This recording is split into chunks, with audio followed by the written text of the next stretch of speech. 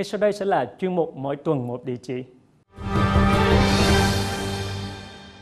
Thưa quý vị, đầu tháng 2 năm nay, Đại học Tôn Đức Thắng đã trở thành trường đại học công lập đầu tiên được tổ chức QS Stars của Anh Quốc công nhận đạt chuẩn 3 sao quốc tế. Và đây cũng là trường đại học đầu tiên của Việt Nam được cấp hai bằng sáng chế khoa học, công nghệ bởi Cục Sáng chế và Nhãn hiệu Thương mại Hoa Kỳ. Những thành tựu mà Đại học Tôn Đức Thắng đã đạt được không khỏi khiến cho nhiều người đặt câu hỏi. Điều gì đã làm nên uy tín của trường Đại học Tôn Đức Thắng hôm nay? Chuẩn 3 sao quốc tế rốt cuộc là gì? Và sau cùng, sinh viên, nhân tố quan trọng nhất của trường đại học sẽ học được những gì ở Đại học Tôn Đức Thắng? Mời quý vị cùng chúng tôi ghé thăm trường đại học này trong phóng sự sau đây. Chúng tôi đến trường Đại học Tôn Đức Thắng vào một buổi sáng nắng đẹp. Đã nhiều lần ghé thăm các trường công lập, nhưng những gì mà chúng tôi một sở thị ở Đại học Tôn Đức Thắng thực sự khiến chúng tôi bất ngờ. Giữa sảnh chính của trường, tiếng đàn piano réo rắt len vào tiếng cười nói của nhóm các sinh viên đang xếp hàng trực tự trước cửa thang máy. Ở đây để tiết kiệm điện và tránh tình trạng ùn ứ, thang máy được phân chia ra thành hai lối, lối thang máy lên các lầu số chẵn và lối lên các lầu số lẻ. Không ai nhắc ai, sinh viên nối đuôi nhau xếp thành hai hàng chờ đến lượt.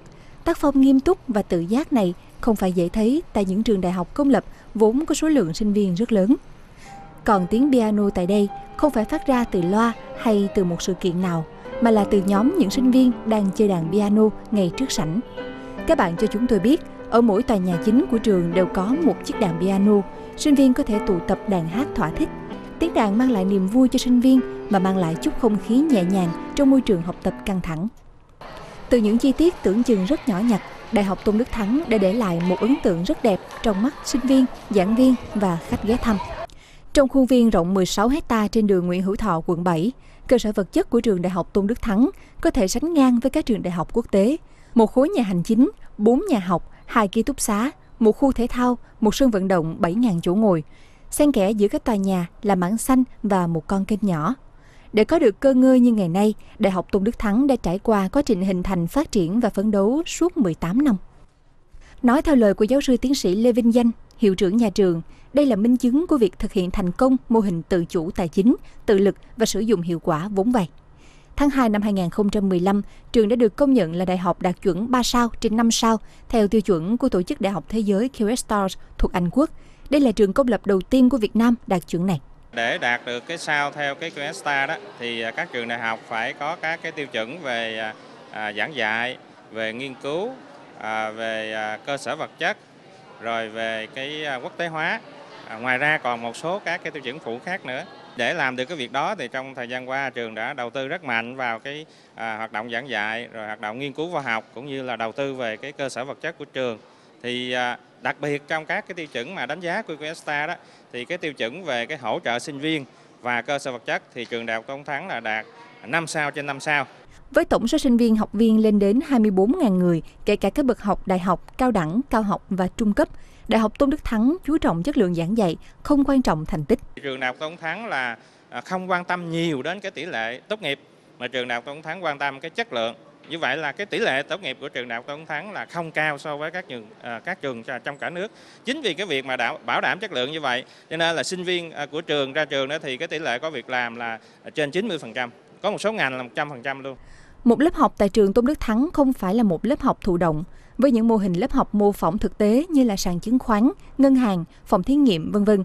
Sinh viên được sớm tiếp cận với môi trường làm việc thực tế.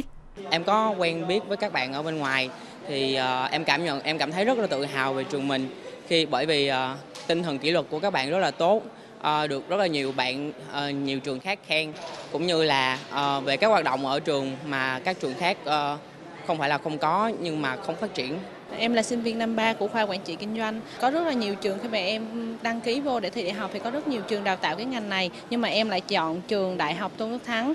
Thì à, sau qua 3 năm học tập tại trường Tôn Đức Thắng thì là em đã có cho mình một cái lượng kiến thức vững vàng và cũng như là cái cách đào tạo của trường thì là cho em những cái kỹ năng mềm ví dụ như là quản lý thời gian, ờ, quản lý về tiền bạc cũng như là có cái một nền tảng tiếng Anh khá tốt để mà khi ra trường em có thể tìm được cái công việc phù hợp với khả năng của mình. Ngoài việc đầu tư chất lượng giảng dạy, định hướng của nhà trường là trở thành đại học nghiên cứu có uy tín. Trường cũng là trường đại học đầu tiên và duy nhất cho đến nay ở Việt Nam được cấp hai bằng sáng chế khoa học công nghệ bởi Cục Sáng chế và Nhãn hiệu Thương mại Hoa Kỳ thuộc lĩnh vực thiết bị hỗ trợ y khoa do nhóm nghiên cứu công nghệ hỗ trợ y tế của trường thực hiện. Trường Đại học Tôn Thắng ngoài cái liên kết đào tạo chúng tôi còn thực hiện cái liên kết à, về nghiên cứu, hợp tác về nghiên cứu và chúng tôi thực hiện trên tinh thần là win-win à, cùng có lợi chứ không phải là là chỉ kêu gọi sự hỗ trợ không.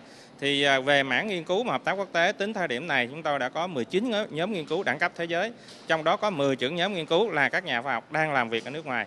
Và đặc biệt tại trường Đại học, Đại học Tôn Thắng thì chúng tôi được cái cơ chế là tuyển các nhà khoa học phân không phân biệt quốc tịch và chúng tôi đã đưa các cái thông tin tuyển dụng trên các website tuyển dụng của quốc tế. Hiện nay chúng tôi đã ký hợp đồng được với các nhà khoa học ở các nước châu Âu và châu Á. Các em sinh viên à, sẽ được hưởng lợi rất nhiều từ cái cái chương trình này. À, các em à, có thể tham gia là trong quá trình các em thực hiện các đề tài tốt nghiệp, các em có thể là được sự hướng dẫn của các cái nhà khoa học từ các nhóm nghiên cứu. Ngoài ra sau khi các em tốt nghiệp, các em có thể là được học lên, học sau đại học tại trường Đại học Tôn Thắng hoặc là trong nước hoặc học tập ở nước ngoài.